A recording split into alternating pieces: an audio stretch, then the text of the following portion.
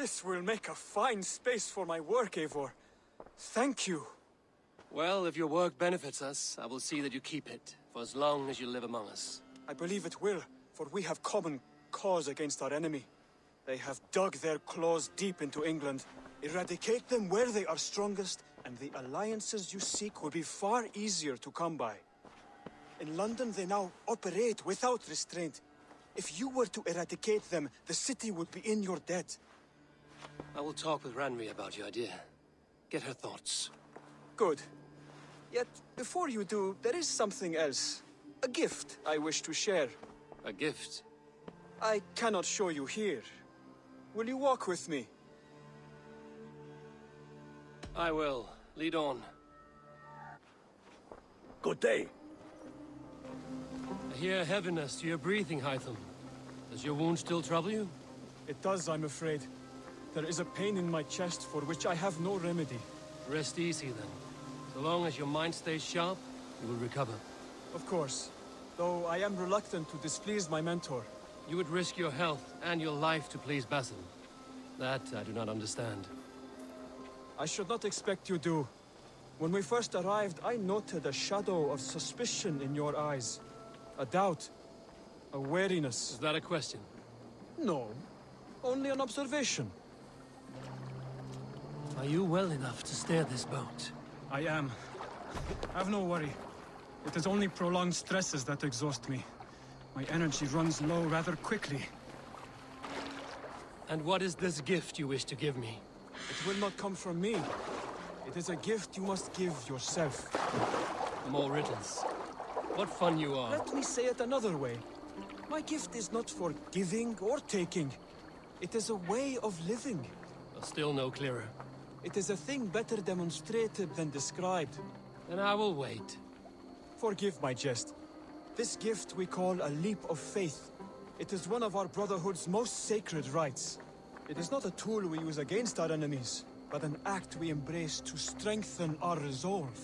Like your meditation, it centers our minds, steadies our hands, and purges fear from our hearts. And more practically, it aids our movements, in flight or in stealth. call it a leap, and we are climbing a rather steep hill. There it is again. The shadow of a doubt. Nearly there. Our destination is there.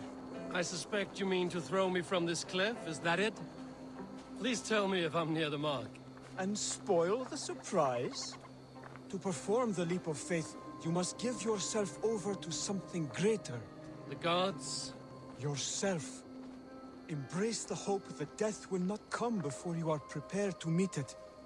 Believe this, and you will fear nothing. Our deaths are prefigured, weaved into the fabric of the world. To fear this would be a waste of worry and tears. Good. Then your mind is already attuned to my lesson.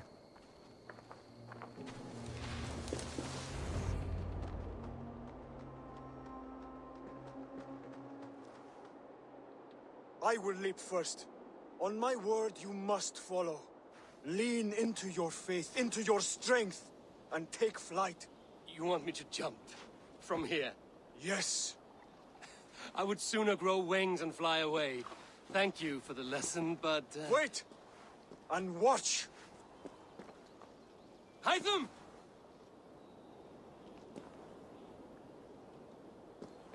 Hytham! Pig-headed fool! Are you injured? You see? My faith proved stronger than my fear! And that loam cushioned your fall. Eivor! I have not seen this side of you before! Do not feed your fear! Conquer it! I've seen my death in a vision. It was not here. Not today.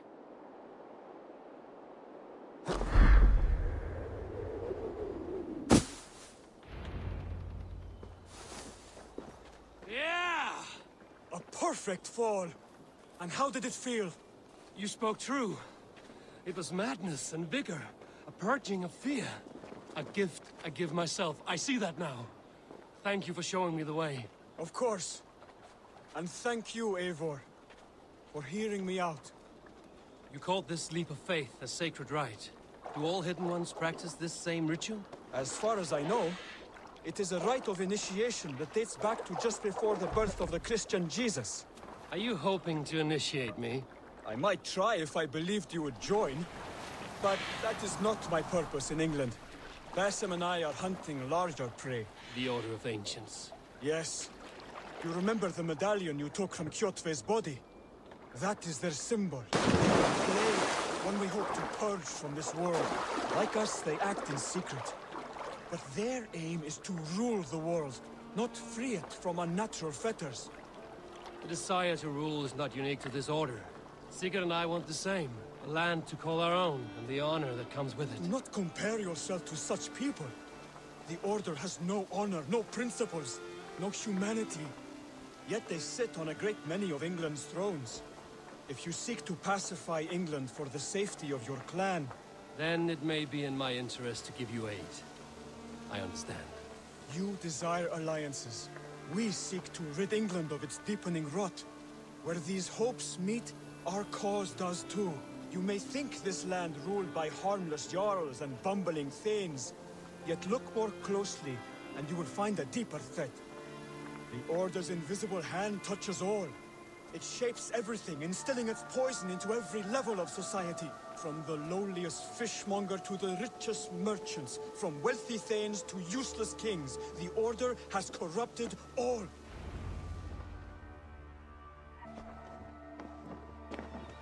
Basim has given me one task here. To locate and eliminate the Order of Ancients in England, in whatever dark corners they reside. If we work together towards this end, it will benefit us both. You will have greater influence over the kingdoms of England. And you will have more medallions to count. Exactly. You should begin in London. I have credible reports that the Order is working now to seize the city. I will speak with Randvi about this. And while you are there, be on the lookout for our symbol. Centuries ago, the Hidden Ones had bureaus built around England. There were six, I believe. If you can find them, search them well for documents bearing the same symbol. It will greatly aid my studies. I will. Thank you, Hytham, for all of this.